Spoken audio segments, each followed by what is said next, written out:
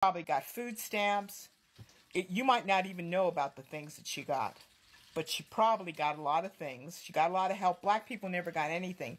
As a matter of fact, every time black people built something, they um, they would come in and burn it down or bury it. Um, Lake Lanier, underneath Lake Lanier here in Georgia, is a whole town.